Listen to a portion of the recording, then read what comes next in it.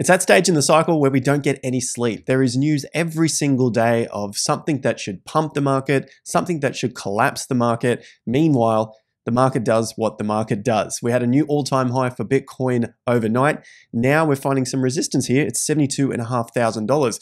We've also got billionaires selling their stocks in the market, which is leading to a little bit of a worry around another looming recession. I want to unpack that for you guys today as we see Bitcoin sit here at 72K. What does it mean for Bitcoin? What does it mean for cryptocurrencies right now in the cycle? Could we be experiencing this cycle ending earlier? Let's unpack that today. It's your home of macro cycle analysis. We're covering Bitcoin, crypto, stock markets, and of course, real estate. So you can get a holistic view of the markets and not get too caught up in the degenerate bubble of the altcoin space. Thanks again for your support on the channel. 2024 is our year to go to 400,000. So thank you very much to, for sharing the content with your friends and family so they don't get caught up in the everyday nonsense of the news and media personalities out there. Today is the day that the free crypto and economic report goes out. Link is in the top of the video description. You'll see a screen like this, name, email address, away you go. You've got the free report coming out. All right, billionaires are selling. Type that into Google. People are posting videos about it. We want to see what is going on because essentially we can see charts lining up with billionaires selling their stock coming into other peaks in the market. But I want to show you some of the other data as always because the news wants to tell us one thing and fear sells. Now you've got Jeff Bezos selling, you've got Mark Zuckerberg selling, Jamie Dimon has also sold some of his stock for the first time since he uh, was in power here two decades ago. So it's the CEO of JP Morgan, if you're unaware, 150 million. Uh, you've got Apollo Global Management also shedding some of their uh, their stock as well. Walmart also selling 1.5 billion in a week. Trump and uh, Biden might be hitting the election this year, which I've got more on in today's video as well. So, anyway, the point of it is you've got these headlines billionaires selling stocks. Why the hell are they selling stocks? I also found this when I decided to uncover a simple Google Google search billionaires selling. You can come up with a few articles that are from months and months ago. These billionaires sold most of their stock so far in 2023. And you know what, what I like to do is just unpack what is going on with the headlines. Because a lot of people have been making videos about this billionaire thing and expecting another market collapse. 21 of the world's richest people, including Larry Ellison, and Rob Walton, have un, uh, have unloaded shares worth more than 9 billion combined in the first 6 months of the year. Think about that. This is July 2023. They unloaded the first 6 months of 2023. Let me demonstrate for you where that was on the chart. The first six months of 2023, there is December 2022. Here is the region that we're looking at. Let's draw that circle there. That is the first six months of 2023. I mean, if they've been holding for decades, sure, you're up a ton of money. Why not sell some as you see the market start to recover from a cycle bottom? But look where the market's gone from that point 22% up uh, since the end of June 2023. So I want to give you my thesis on this, and that is most likely it's a nothing burger. Typical of pretty much any news headline, and unfortunately this comes from Daily Mail, but you can pick it up from any other headline over here from different outlets. But essentially, most likely a nothing burger, even if there is a correction. We've been covering that uh, leading into this election year or into the bull markets, which we'll get onto the election year as well once we break all time highs, the corrections are typically single digits, and you get this grinding effect on the way up. You can see from 2020 when, when the market broke back above the all time high prior to the COVID collapse, there was a 10.5% correction right here, and that was the worst correction that the S&P 500 had seen all the way up to the peak that came in in January of 22. So basically, for that entire uh, grinding period from March 2020 into the peak, that was the worst that occurred 10%. So far, the worst that we have seen in this move up from the cycle low, which is October 2022, or at least this part of the cycle, the 18.6 year mid cycle would be counted from March 2020. Just a side note there, but essentially from this point here, uh, the biggest correction was last year, uh, July through to October, again, 10.9%. Just driving that point home a little bit harder. Billionaires aren't always there to understand how the cycle works. You've seen me post this before. I posted it on X back in May, so coming up to 12 months ago, when Elon Musk was talking about a possible recession. He was literally at the bottom of the market, thinking it was going to implode. Recessions here, markets are over, game over. Uh, you know, we have to sit and wait this thing out for uh, a year and a half, maybe two years which is now spring of 2024 for, for you guys in the northern hemisphere, uh, until this recession uh, basically works itself out. But of course, we know from the charts back in October, right here, market has been up phenomenally and in terms of a percentage down back to that October point, something like 35 to 40% up since that time. Now, is that affecting the overall market in terms of their feelings?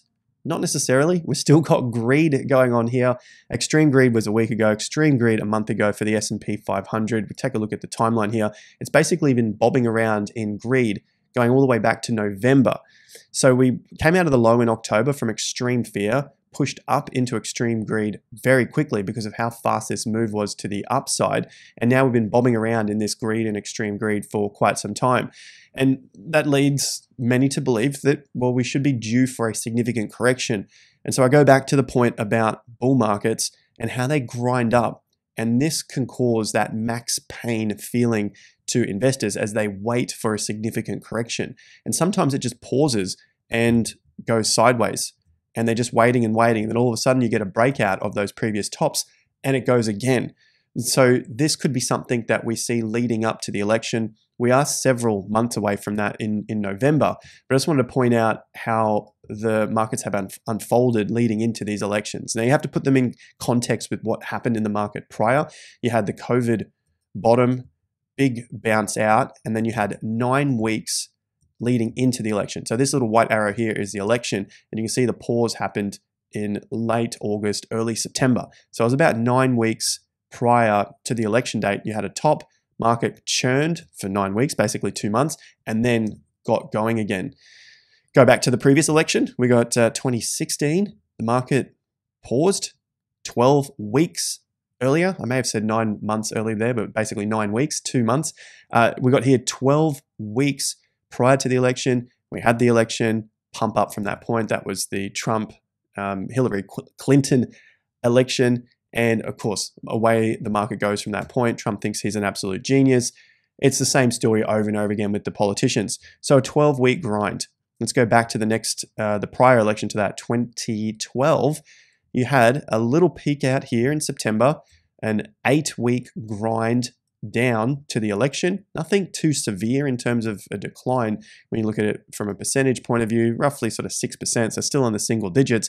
The market just didn't go anywhere. Everyone's waiting for this election to happen. Eight weeks, roughly two months. Election happens, one week down, and then the market powers away from that point again. Now we got 2008, obviously GFC times. I'm looking at this as a little stop, stopping point in the market for that peak because prior to the election prior to this point, the market was grinding down. You had several signals that the bull market was over, especially right through 1400 points, the lows, and then the market dropped under those lows, came back and tested the underside, which of course is your support and resistance flip, which generally means you're going to see further weakness. And then you had a stopping point here where the market came up and bounced before the collapse. And that was roughly 12 weeks as well, uh, going from the election. So from that little peak to the election, 12 weeks, roughly two to three months. You had the final low, and then the market powers away from that point. That was the end of the bottom. But it definitely did not feel like this was the end at the time. It felt like there was going to be a long time that the market was going to collapse for. But of course, that's history. Market bounced straight up from that point. We had a roughly 35 weeks from this point in 2004 where the market peaked and then was grinding down until it got to the election where it broke out about 30 to 35 weeks. So if I do my numbers right, it's about an eight month period there.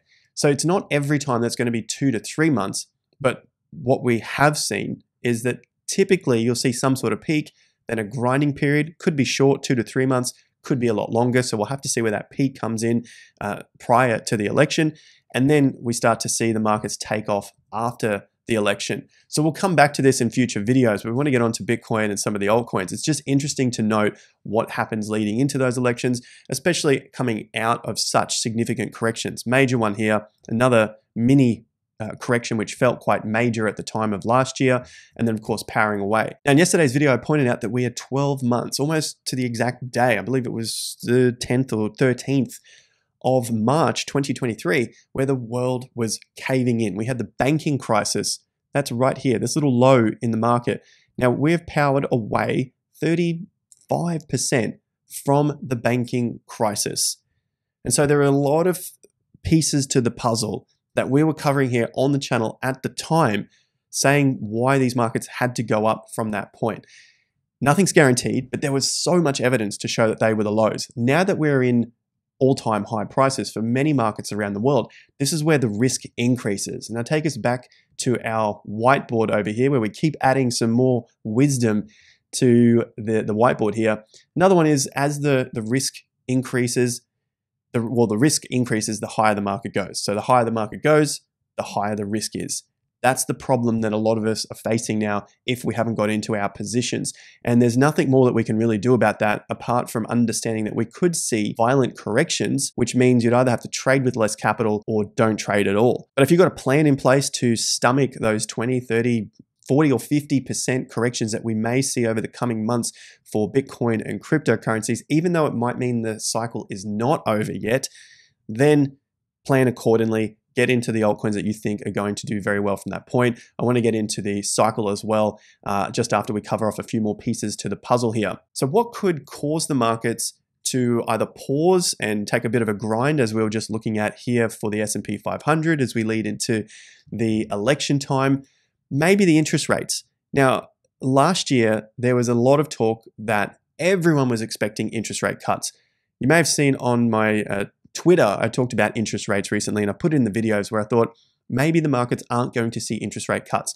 And even recently, I put in another video just looking at Jason Shapiro's take on the interest rates. Now, I thought if we don't see the interest rate cuts, that could be enough to pause the markets. As we've gone on, we haven't seen interest rates we haven't seen a pause in the market either. So, on the one hand, I got that right. I didn't think we would start to see cuts because the prices are going up. Why would uh, why would the Fed cut interest rates to then fuel the fire even more? The whole point of um, having higher interest rates or five and a half percent is to try and stop the inflation, stop all the prices going up so much. And so uh, Shapiro was also talking about the possibility of the interest rates increasing. And right now we're we're beginning to see a lot of these probabilities on the interest rates shifting more towards no cuts rather than cuts. And so you, you may have recalled, you may, may not recall, going back to even the end of last year, there was uh, uh, the probabilities were that we would see an interest rate cut at almost every single meeting throughout 2024, basically sort of seven or eight interest rate cuts. Now we are down to, uh, I believe, four. So we got potential cut in June, so no cut in March anymore, no cut in May. Uh, we got one in June, one in July, another in November, and then a possibility of one in December as well. But we're seeing these numbers shift to the right, which means the market is potentially not expecting interest rates to be cut. We went from everyone thinking that there was going to be a cut every single month from eight, now we're down to four, and possibly by the next time we, we look at the interest rates, it might even be down to three. We've got the possibility of July not being a cut. Now it's only a couple of percent difference between a cut and a no cut. So that could shift up. Maybe over the next course of time, we see November shift from 38 and pushes into the 5% region here, as well as the interest rate, as the probabilities start to creep up. Maybe we even see December creep up as well. So that would take another cut out of the equation. And it can all flip quite quickly as well. Maybe you start to see one or two of these other months flip up and we go from four down to three, down to two which would put it more in line with uh, what was previously said at the last meeting, where they thought we don't need to cut as much as we first thought. I put, posted that on a previous video as well. And so this could also help tame the market and just let it at least grind a little bit slower where we don't see those interest rate cuts. But to really put a cap on things and try and slow it down, you'd probably need to see some sort of interest rate increase. As crazy, I know, as crazy as it sounds, just going on what's happening with the asset prices. In terms of asset prices, well, we're definitely seeing real estate prices go up all around the globe. Australia obviously up, US up, and that would also then fuel another interest rate increase rather than decreases. If those prices keep going up, why would they all of a sudden uh, drop or cut the interest rates, which would then fuel it even further? The US dollar, looking at this, this is going to be another piece that I do in a future video, so make sure you hit that subscribe button. Looking at the 18.6 year cycle and what happens with the US dollar. A few comments came up from people thinking that we're in a, um, a major bull market here. And yeah, fair enough. You can see that they've got higher highs and higher lows coming back from the previous cycle. But what we've seen happen over the second half of the real estate cycle is that the US dollar tends to drop. This is the mid cycle, little bit of a peak, or pretty significant peak, but then you had a very significant collapse on the US dollar leading into the top of the 18.6 year cycle. So that right here, that is your top there around 1990s. And then you had the bottom around 1992 uh, timeframe there after that recession. So the US dollar was down at its low at the bottom of the real estate cycle. Started to run up in the first half of the real estate cycle. So the US dollar goes up here. That's the US dollar going up. This is typically the US, how am I going to draw that? This is typically the US dollar going down and then sideways accumulation and then back up again.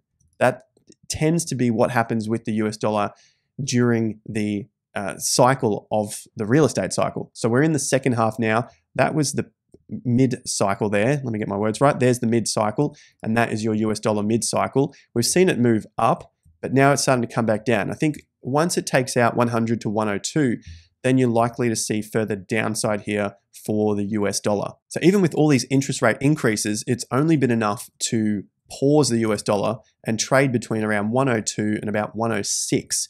And so, if we're to see even more increases, that might be able to hold the US dollar at this price, uh, which would then just remain steady for the rest of the asset prices. If we saw the US dollar go up, could be more pressure on assets. But if they start to at least hold it, maybe we'll see the market come down. And eventually, if there is one, maybe two cuts, you'd probably more than likely see this come down and then you'd see even more flow into assets. So the US dollar and the interest rates are a very interesting one in this second half of the cycle, especially with where they sit. So we'll continue to follow up with that on the channel. Uh, another quick reminder, the free crypto and economic report coming out today, link in the top of the video description, sign up to that. And if you guys are in Oz and you're looking for a crypto exchange, Swyftx right there for your free 20 bucks BTC using the link and international trading Bybit. All channel sponsors, user links, don't use them absolutely your call. Let's have a look at Max Pain here for BTC. I posted this earlier this morning. The pin comment down below. Let me know your thoughts here. Do you think Max Pain is to the upside or the downside? I think at this stage, it doesn't mean that it has to happen, but I think at this stage, it might be the pump something that really locks out even more people to the upside. And then we see that severe correction to the downside. And it seems like that's what the votes are saying this early on. Uh, roughly 65, so two thirds of people think the max pain is to the upside, one third think the max pain is to the downside from here. Essentially, locking those hopeful buyers that are waiting for that dump, it locks them out of the market because BTC pumps up.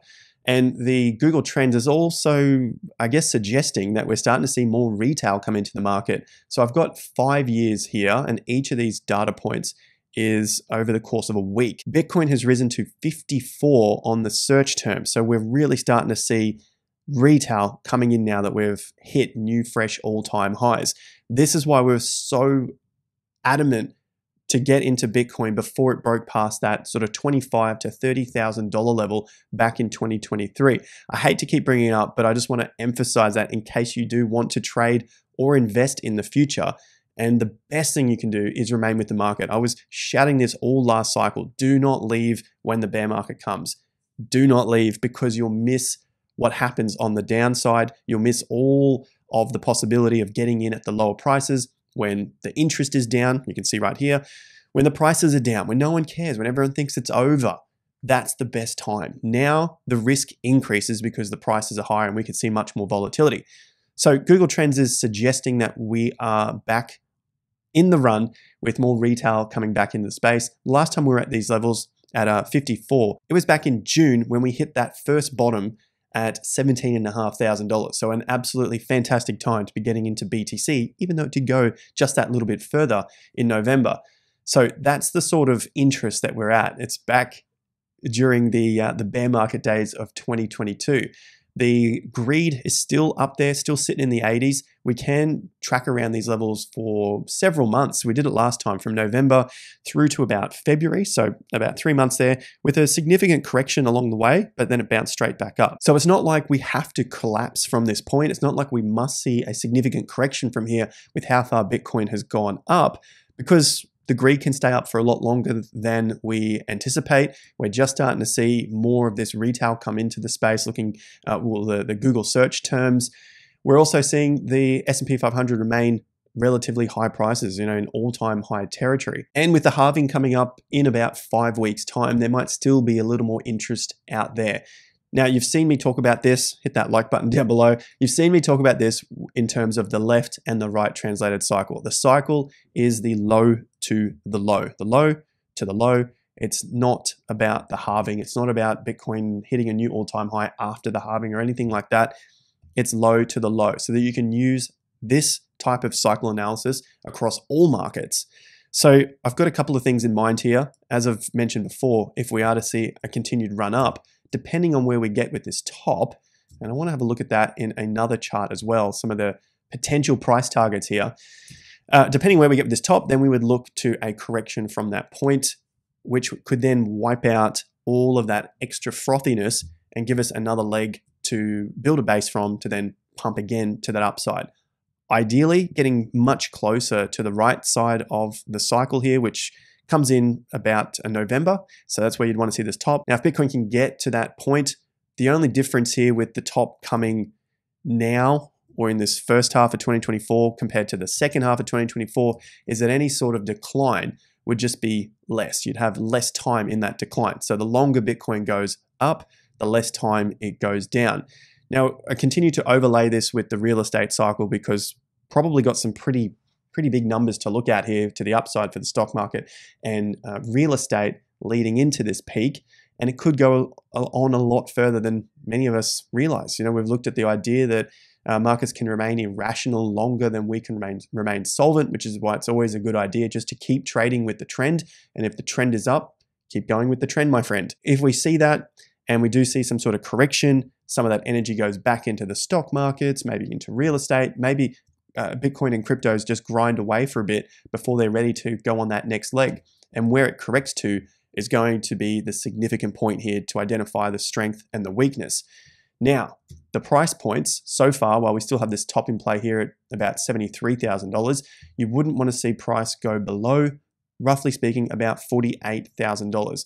Anything below 48K, any sort of major closes there on your weekly or your monthly, probably going to spell disaster and that that top was the end, wherever that top comes in. And that would mean probably going to uh, see lower prices. Even if Bitcoin is to bounce back from there, it might be a lower top. Now, that's a long way off. I'm talking months to potentially years here, but that's something to keep in mind. However, if the correction is uh, above those levels, above these tops here back in March of 22, top being there 48K, then the probabilities increase that this is a healthy correction and it's just loading up again to springboard from to get to some higher prices. So that's the macro, the long term for BTC. In terms of the short term, before we get to another price target here, we were looking at the 50% level on the live stream last night on the channel. So uh, go back here, check out those videos, subscribe to the channel, you know what the deal is here. We were looking at this being a possibility of a short term resistance level because it was the 50% extension from the move that it had previously previously done from Wednesday. So short-term stuff here, the market is holding out at the moment at 72,600. Should we get above that level, I've got a more of a macro target here, which could take weeks to months to reach because it's taken years to form. Years to form is the low from the previous cycle to the top of the previous cycle. So 3K to 69K projected from this current cycle low at 15K. The market's to get to 81,300. That would be a 100% repeat of the entire price cycle of last cycle. So the entire move from 3K to 69K projected from 15K. So I've got a nice little uh, price target here, roughly around 81,300. Now, I've come up with that. I'm not going to be wed to it whatsoever, but for the sake of putting together some degenerate upside and downside targets, should we see the price get to around 83,000 and we see a violent correction from there, let's have a look at some percentages. 20% would take us back to about 65K, which would be those previous tops. 30% would take us back to about 57K, and a 40% correction would take us back to about 48K. And so from that point, it's pretty easy to see that any of those sort of corrections, even though they're super violent, 20, 30, 40%, it would feel like the world is over. Remember, we just saw a 15% correction a few days ago going from, I believe it was 67 down to 57. That felt like things were getting absolutely crazy. Imagine 40% coming down from 80, uh, $81,000. It would still be a healthy correction as it's above the previous tops here. That's what you want to see in a market. You want to see it hold up, even though you can see violent corrections. It's basically like a pressure test to the system. Is it able to withstand super uh, supersized moves to the upside? Is it able to withstand supersized moves to the downside? If yes, tick that box. Market can reaccumulate to then pump to the upside. Speaking of pumping to the upside, the altcoin market, just looking at some of these breakout points. So similar to BTC, where you've got this first lower swing top, which marks the weak point of the market. That's basically your complacency bounce before the collapse. Once we break through those complacency points, the market typically goes absolutely haywire. And that's what's happened with altcoins in the past. So have a look at this top in 2018.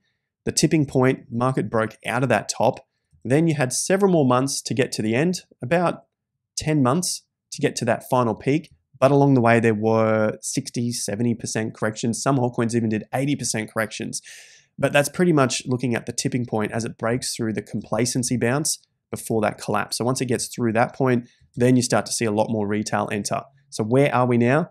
We are just a matter of a percent, a few percent away there, 12% to that peak. And altcoins definitely look like they want to get back above that level. By the end of this month, we'll get to know whether we will see a close above the 50%, so roughly $575 billion on your total cryptocurrency market cap, excluding Bitcoin, excluding ETH, and excluding stablecoins. Important to note there because this is the TIA crypto total market cap to give you a better idea of altcoins and only altcoins, not the other stuff. Essentially, a break above 50% would be a very, very good start to hold position, reaccumulate, and get back above. But at this rate, I don't think anyone's going to um, balk at the idea that altcoins could literally just break above that peak, which is 656 billion, and essentially just keep going to the, that all-time high. Nonetheless, even if you saw any sort of correction that was above that level now, if it was to get above 575, it's still a healthy correction. It would still be a healthy reaccumulation zone should it be able to break back past whatever that top comes in. So things are still looking pretty damn good for Bitcoin and altcoins. Just keep trading with the trend refer back to your whiteboards of wisdom notes here if you're feeling like you're getting some delicious feelings in your jellies or you're feeling like your, your chest is tightening up and you can't sleep at night. Remember, you'd have to decrease your risk if that's the case. And if you feel like you're missing out, put something little in so that you can still sleep at night knowing that you've got on board with some of these major moves to the upside. But always pay very close attention to your risk management everyone thinks it's about picking the top altcoin out there, but it really is about your risk management. Any, as I said in the live stream last night, you could give away all of the best altcoins that do 100x, but it will come down to how you sell, which is essentially your risk management. And the majority of people will screw it up. That's just unfortunately a pure hard fact of the market. That's why not everyone succeeds and why it's so heavily stacked against the majority because they have a, a gambler's mindset.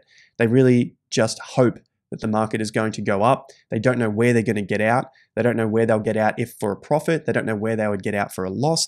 They don't know how to take out small positions along the way. And it, it's really like training for a war. It's like training for a, a, a big sports game, some sort of big event that you've got coming up. You need to do the training to ensure that you are there to win at the end of the day. As always, I've enjoyed hanging out with you guys today. Rock on. I've got some new little features here. Oh, isn't that amazing?